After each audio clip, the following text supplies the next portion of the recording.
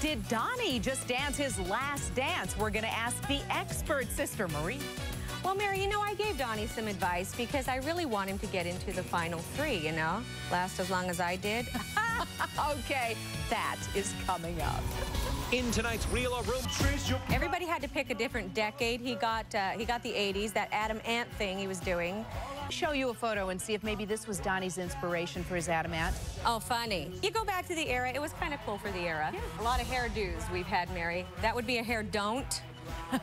Fun in it as much now. Well, you know, he, his toe is broken, and it starts to wear on you physically at this point. Sure. He and Aaron